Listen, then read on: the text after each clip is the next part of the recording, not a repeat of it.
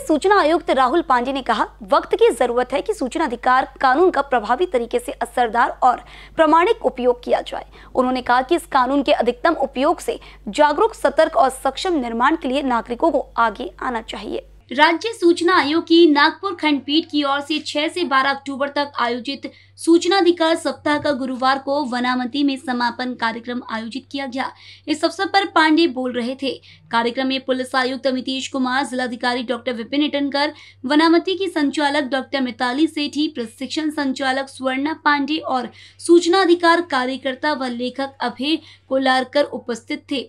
इस अवसर पर पुलिस आयुक्त अमितेश कुमार ने कहा कि आज का युग पारदर्शिता का है।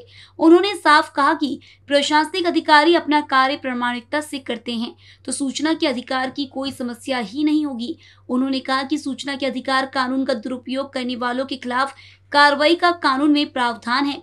जिलाधिकारी डॉक्टर इटनकर ने कहा कि प्रशासन खुद होकर अधिकतम जानकारी ऑनलाइन उपलब्ध कराए, ताकि जानकारी हासिल करने के लिए नागरिकों को सूचना अधिकार के उपयोग की ज़रूरत ही नहीं पड़ेगी।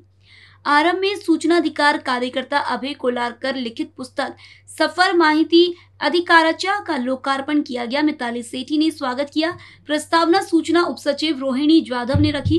कार्यक्रम का संचालन मिलिंद तारे ने किया। कैमरा पर्सन राजकुमार मोहर के साथ अभिषेक पांसी बीसीएन न्यूज़ नागपुर।